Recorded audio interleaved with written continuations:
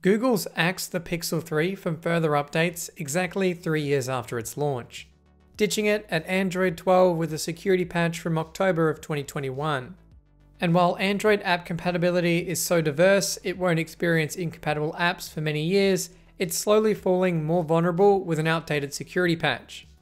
But what some Android phones like the Pixel have is an unlockable bootloader, and with the use of community driven software, you can take control of your phone and update it past whatever the manufacturer says it can run.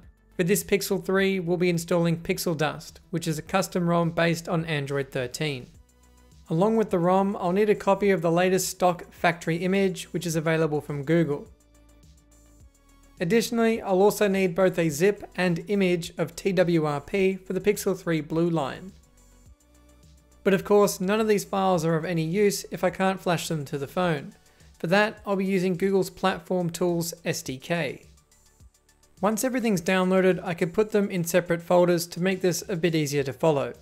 The most crucial step in this process was of course not explicitly stated in the ROM's installation guide, which left me confused when none of the commands worked. But that was because I needed to install Google's platform tools first. To do this, I can open a new Finder window in the slash etc directory. This is where I'll place the platform tools folder which contains the executables like ADB that we'll use later in terminal. But we still need to tell the computer that there are commands in that folder, to do that, I'll need to add the file path into the paths file.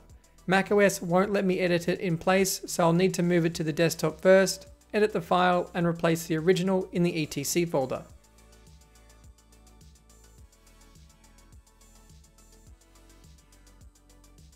Typing the word ADB into the terminal app, you can see we no longer get an error. Next, we need to get the phone ready. I'll navigate into the About page in Settings and enable the hidden developer options by tapping repetitively on the build number. If you've ever wanted to be a developer, congratulations, you've just found the easy and guaranteed shortcut to success. In these developer options, I'll need to enable OEM unlocking to allow the bootloader to be unlocked, and the USB debugging option to allow the computer to execute commands on the phone. With the phone plugged into my computer, we can begin the flash. In Terminal, I'll tell ADB to reboot the phone to the bootloader.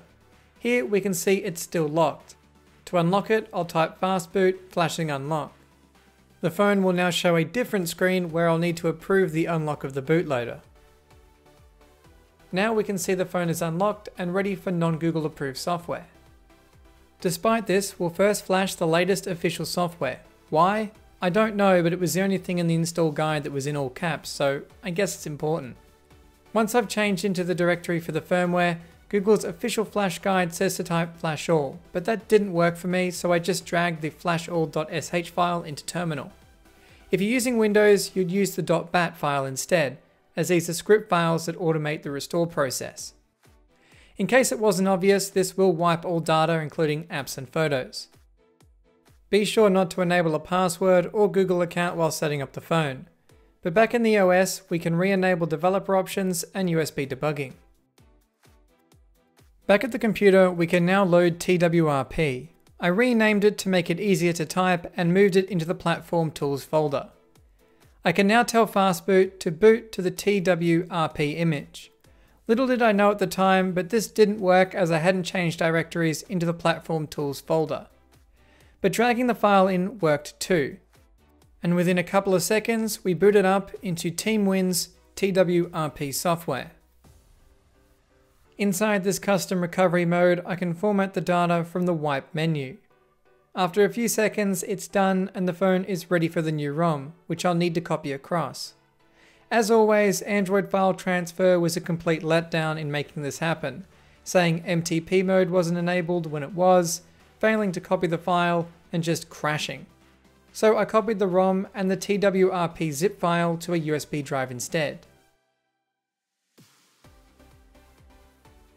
Now we're ready to go.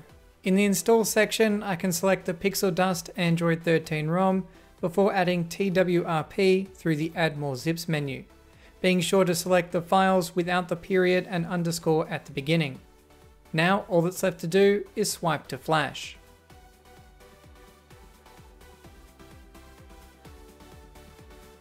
Once it's done, I can reboot the phone into the system. On boot, we can see the new animation indicating everything was successful. After setup, we can see that in settings, the phone is now running Android 13 with the October 2022 security patch update, a whole year newer than it was before. So this is it, a Pixel 3 hacked to live on with a more up-to-date operating system. It's disappointing Google stopped offering security updates for the Pixel 3, despite still releasing security updates for Android 12 as a whole.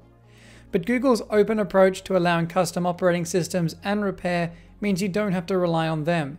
It's your phone, so you can just install something else. And with most of Android being open source, it allows people to make these updates for unsupported devices. However, it isn't without its downsides. The bootloader has to remain unlocked, otherwise the phone will brick the OS, as it would detect it's not Google's official Pixel operating system. After all, that's the purpose of a locked bootloader. This does mean you'll get a warning message on boot about software integrity.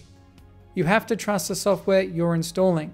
And while I installed Pixel Dust in this video, I have not checked into its legitimacy nor endorse its use, but its source code is available, so do your own research before installing it.